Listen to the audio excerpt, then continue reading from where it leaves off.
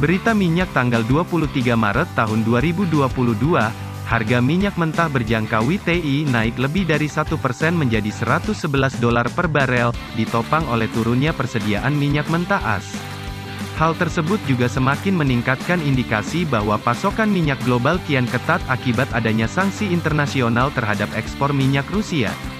Data terbaru dari API menunjukkan bahwa persediaan minyak mentah Amerika turun 4,3 juta barel, atau berbanding terbalik dengan ekspektasi pasar yang memperkirakan adanya kenaikan. Penurunan persediaan juga terjadi sehari setelah harga minyak turun pasca Uni Eropa memberikan sinyal tidak mungkin untuk memberlakukan embargo terhadap minyak Rusia.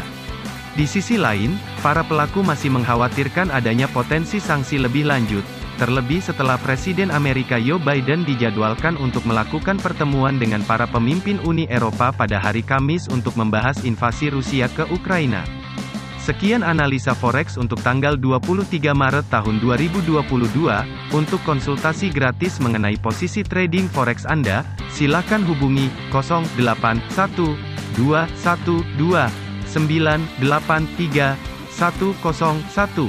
Sekali lagi, 08 satu dua satu dua sembilan delapan tiga satu satu. Kami dengan senang hati berbincang dengan Anda.